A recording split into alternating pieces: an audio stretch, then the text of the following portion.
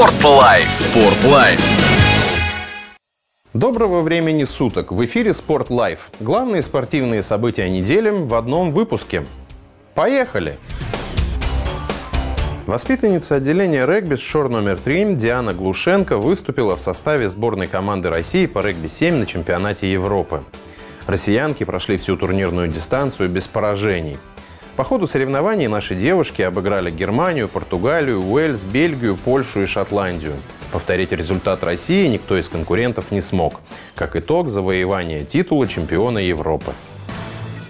Продолжается розыгрыш чемпионата Кемеровской области по футболу. В перенесенном матче второго тура прокопчане принимали дома Распадскую УК из Новокузнецка. Новокузнецкая Распадская УК наравне с Прокопьевским «Шахтером» и Ленинск-Кузнецкой «Зарей Суэк» являются лидерами первого круга розыгрыша чемпионата Кузбасса. Распадская угольная компания перед этим матчем имела стопроцентный показатель набранных очков и две игры в запасе. «Шахтер» же с девятью очками располагался на втором месте турнирной таблицы. Ну, Распадская лидер чемпионата считается. Ну, все опытные, все умеют играть в футбол и хорошо умеют играть в футбол. Но несмотря на то, что они лидеры, конечно, мы идем еще в первой тройке сами по себе ну и настроен на победу. Первый тайм прошел в упорной и вязкой борьбе. Команды играли с оглядкой на свои ворота, поэтому опасные моменты практически не возникали. Но все же немного ближе к голу были гости. В середине первого тайма игрок новокузнечан решился на дальний удар, после чего мяч по замысловатой траектории угодил в перекладину. Однако уйти на перерыв без забитых голов команды не смогли. В самом конце первой половины матча Распадская УК после подачи углового смогла открыть счет, забив пресловутый гол в раздевалку. Во втором тайме акцент игры не поменялся. Равная игра с минимум опасных моментов, как у одних, так и у других ворот. Но чуть удачливее в этом противостоянии оказались соперники, которые на 65-й минуте смогли удвоить свое преимущество. После второго мяча гости закрылись и начали сушить игру. В итоге матч закончился обидным поражением от одного из фаворитов чемпионата. Следующий свой матч горняки проведут дома. 3 июля наша команда сыграет с ФК Новокузнецк. Начало матча в 15.00. В оздоровительном центре «Елочка» стартовал второй сезон. В детский лагерь заехали порядка сотни ребят. На протяжении двух недель детвору ждет яркая, насыщенная развлекательно-оздоровительная программа. А если вы не успели приобрести путевку в елочку, то звоните по номеру телефона 61 30 97 и заказывайте. Продажа на третий и четвертый сезоны уже началась. Стоимость отдыха 20 тысяч рублей. Также стоит напомнить, что в «Елочке» в этом году работает программа туристического кэшбэка. А это значит, что при оплате путевки картой платежной системы «Мир» скидка на отдых составит до 50%. В Ленинске Кузнецком отгремел очередной этап чемпионата и первенства области по мотокроссу. В числе сотни участников выступили и прокопчане. Об итогах старта рассказывает наставник прокопьевской команды Сергей Яценков прошел четвертый этап в городе Ленинск-Кузнецке, чемпионат, Куз... чемпионат первенства Кузбасса. А, от нашей команды ездило 8 человек. А, два человека стали призерами. А, то есть э, Алекс... Александр Вовк у нас занял второе место, это класс 125 юниоры. А класс открытый 250 мужчины Владислав Плюхин занял первое место. Ну, также командное место у нас по итогу соревнований, по итогу чемпионата первенства заняла второе место наша команда. Ну, в целом, ребята проехали достойно. То есть, э, кто были призерами, ребята давно занимаются. То есть, мы возим и детей, кто только-только начинает заниматься, чтобы втягивались, росли. Получается, только самый грандиозный опыт можно приобрести на соревнованиях, а не на тренировках. То есть, как ни крути, надо возить всех детей, не только, не только сильных, всех. У нас проходит 8 этапов чемпионата первенства Кузбасса. Четыре этапа уже прошло. Как я вам сказал, что в Ленинске был четвертый этап. Э, сейчас готовимся к пятому этапу. У нас будет в Мысках. Потом шестой этап будет в Промышленном. Седьмой этап будет проходить а, город Анжеро-Суджинск. И завершающим будет Прокопьевск. То есть в Прокопьевске будет и чемпионат России, и всероссийские соревнования, и первенство, и чемпионат Кузбасса. То есть сразу будет три, три, три соревнования в одном. Как театр начинается с вешалки, так здоровый образ жизни начинается с детства. Этого утверждения придерживается педагогический состав детского сада номер 101 «Березка», который в числе первых присоединился к проекту «Лето с ГТО в Кузбассе». Лето с ГТО в Кузбассе – уникальный проект, который реализуется в нашем регионе уже четвертый год. Его задача – привлечь к выполнению нормативов комплекса как можно больше людей.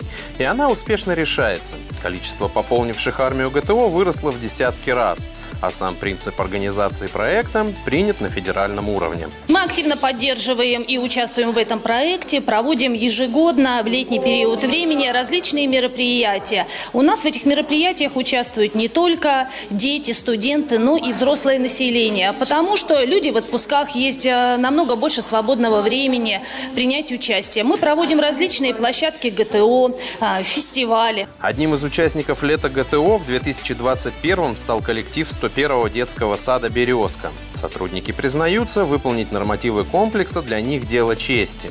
Ведь воспитанники именно этого детского сада были признаны лучшими на муниципальном этапе фестиваля «Малыши Кузбасса шагают в ГТО».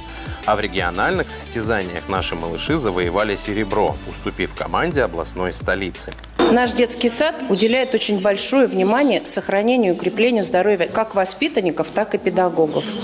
Наши воспитанники одни из первых успешно выполнили нормативы ГТО э, среди дошкольных образовательных учреждений города. Но и педагоги не остались в стороне.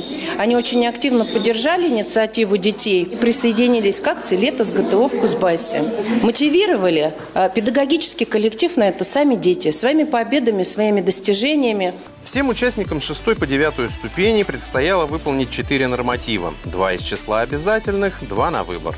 Захотелось самой попробовать, и здесь в коллективе получилась такая возможность, что все решили дружно поддержать наших воспитанников, которые в декабре сдавали ГТО.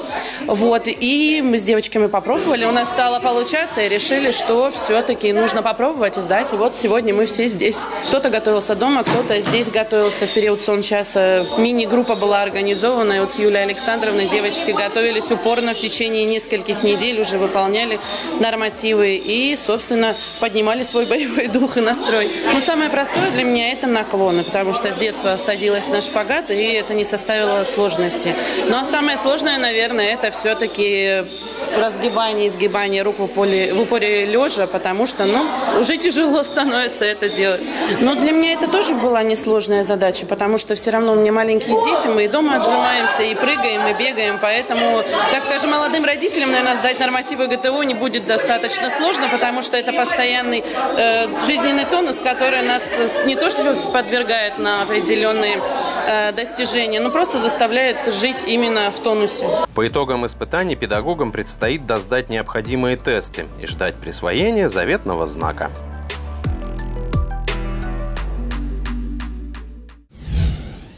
Продолжение темы. В 2021 в год 90-летия ГТО в Кузбассе разработали уникальный проект «Марафон возможностей ГТО без границ» для людей с ограниченными возможностями здоровья.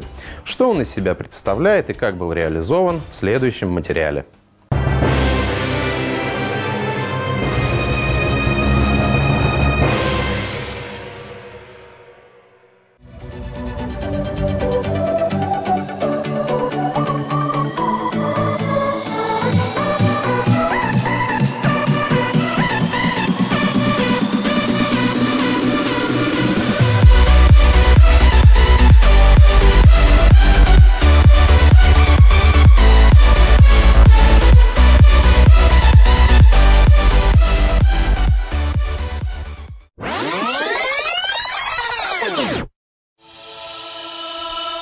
За шесть с небольшим лет существования современного комплекса «Готов к труду и обороне» это движение стало, пожалуй, одним из самых массовых в стране. Во многом благодаря огромному количеству фестивалей, конкурсов и проектов для разных категорий населения. В масштабных спортивных праздниках принимают участие сотни тысяч поклонников здорового образа жизни. Не знает границы возраст желающих выполнить нормативы. К испытаниям приступают как дошкольники, так и участники ветеранских движений. Одним из ярких примеров доступности комплекса стала разработка нормативов для людей с ограниченными возможностями здоровья. Кузбасс поддержал полезную инициативу в числе первых. Начиная с 2019 года к выполнениям испытаний приступили порядка 500 граждан этой категории населения. Более 300 из них выполнили нормативы комплекса на знаки отличия. Многие традиции советских времен, они были объединяющими. И вот эта спортивная традиция, она очень хорошо влияет, в том числе и на меня, на ребят влияет, на ГТО. Было интересно посмотреть, на что способен человек, насколько это действительно для э, людей с инвалидностью сложно или нет. Ну, может быть, где-то кому-то пришлось через голову даже прыгнуть, потому что для кого-то там отжимания или э, упражнения на пресс были тяжеловаты, для кого-то подтягивания было тяжеловато. Это, это было интересно. В 2021 в год 90-летия ГТО в Кузбассе решили шагнуть еще дальше. Разработали и реализовали уникальный проект «Марафон возможностей ГТО без границ», который стартовал в феврале. Нововведение получило жизнь благодаря совместной работе Министерства физической культуры и спорта и Министерства социальной защиты населения Кузбасса, а также Центра спортивной подготовки сборных команд области, регионального оператора ГТО. Суть проекта проста и понятна. Используя передвижной мобильный комплекс, организовать выполнение нормативов готов к труду и обороне для получателей социальных услуг, проживающих в государственных стационарных учреждениях социального обслуживания и дать им возможность окунуться в мир спорта. В 2020 году у нас было такое хорошее событие произошло. Нам, региональному оператору ГТО, правительство Кузбасса приняло решение купить новый мобильный центр тестирования ГТО. Мы решили э, запустить новый комплекс ГТО на э, реализацию социальных проектов. То есть донести ГТО и довести ГТО до каждого жителя Кузбасса. Первый комплекс у нас уезжает далеко в территории, а новый будет э, решать социальные проблемы. Реализовать проект решили в три этапа. Первый из них – образовательный. В его рамках специалисты муниципальных центров тестирования, волонтеры и сотрудники государственных стационарных учреждений социального обслуживания населения прошли масштабное обучение. Судейские и волонтерские бригады в течение 10 дней познавали тонкости проведения мероприятий по приему нормативов комплекса у лиц с ограниченными возможностями здоровья и инвалидов. Знакомились с правильной техникой выполнения упражнений на практике, а также разбирали психологические аспекты общения при работе с данной категорией населения. Была затронута тема этики и как правильно общаться с с людьми с ограниченными возможностями, что нужно помогать им, но тоже не перегибать палку, чтобы э, не показывать их особенности, присаживаться к ним, э, чтобы контакт был зрительный, глаза в глаза, но не сверху вниз, не облокачиваться ни в коем случае на коляску, потому что это их личное пространство. Не ожидала, что есть столько нюансов. Это было очень познавательно, и в ходе марафона я применяла все полученные знания.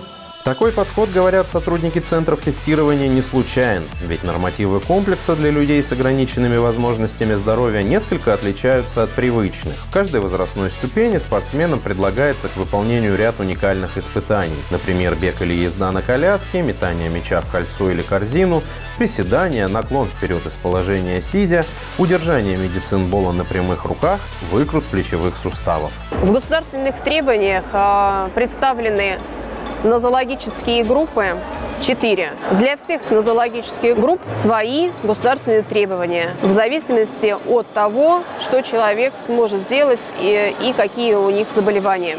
На втором физкультурно-оздоровительном этапе проекта специалисты муниципальных центров тестирования побывали в гостях с информационно-пропагандистскими и физкультурно-оздоровительными миссиями в учреждениях стационарного социального обслуживания. Организовывали мастер-классы по технике выполнения нормативов комплекса и принимали их в тестовом формате.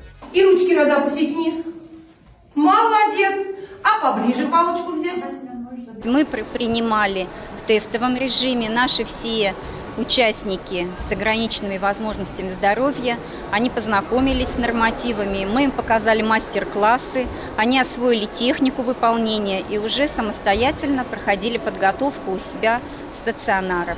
Самым масштабным и наиболее интересным стал третий этап – непосредственно выполнение нормативов на знаке отличия ГТО. В его рамках передвижной комплекс «Мобильный центр тестирования» запланировал к посещению 12 стационарных учреждений социального обслуживания населения. Стартовать решили с Прокопьевска. Поскольку в Прокопьевске нет таких стационарных учреждений, но Прокопьевск – территория спорта, и нам очень хотелось принять участие а, в проекте, в региональном проекте «Марафон возможностей».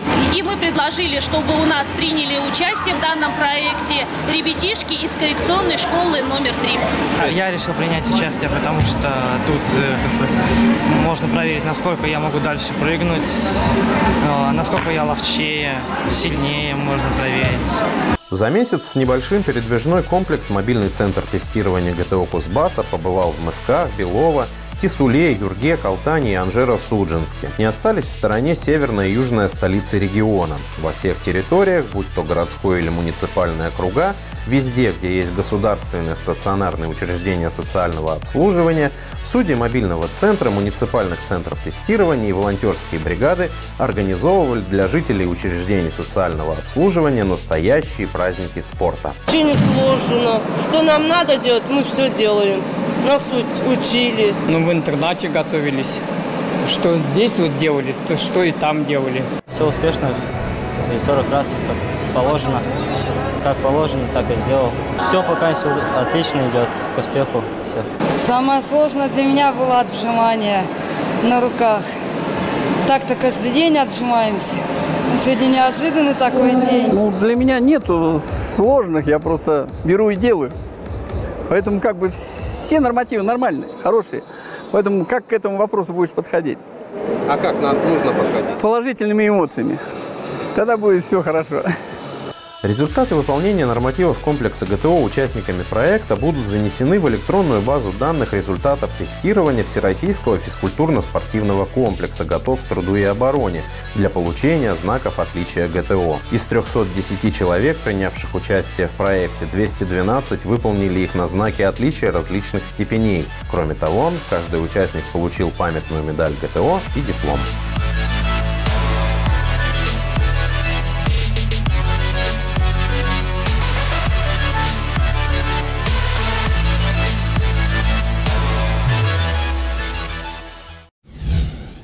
Много интересное о спортивной жизни нашего города можно найти на YouTube и Instagram каналах Управления по физической культуре и спорта администрации Прокопьевска, адреса страниц которых вы видите на своих экранах. Кроме того, свежие выпуски программы «Спорт Лайв» будут публиковаться на сайте спортивного ведомства в разделе «Новости». На сегодня это вся информация. До свидания.